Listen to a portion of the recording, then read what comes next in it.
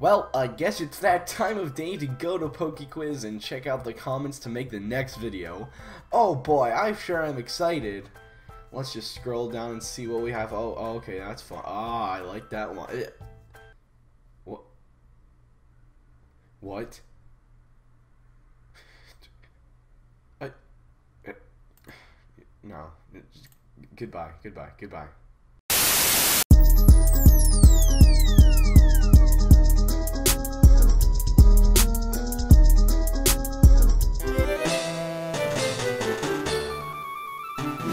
Welcome to Poke Quiz, the series where I ask you guys a Pokemon related question and feature my favorite answers in the next episode. Last episode, I asked you guys what Pokemon you would bring to show and tell, and here are your best replies.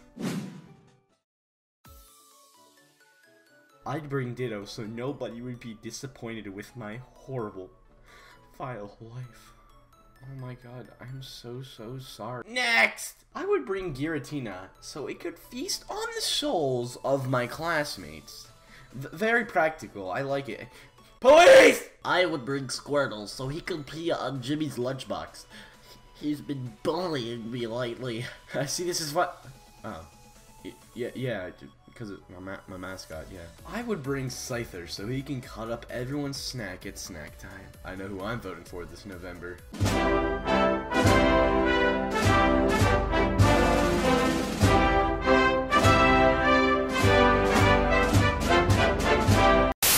Eevee, because I feel like it! God damn, sorry, bro. I'd bring Alakazam because it would do all my work. I would bring in Exeggcute so I could make some egg-citing egg puns. Get it? Egg-citing?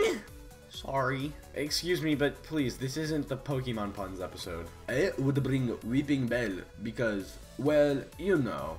No, I actually don't know. An ass Pokemon with the ability thick ass. Oh yeah, I know you talking about that Feraligatr with that thick ass. And finally, I will bring a Ponyta named My Mixtape to show and tell because like my mixtape, Ponyta is straight fire. That's all the answers I have got for you guys today, but I have another question for you. If you could bring one Pokemon to real life and live with you, what Pokemon would it be and why? Leave your creative answers in the comment section below, and I'll pick my favorites for the next episode of Poke Quiz.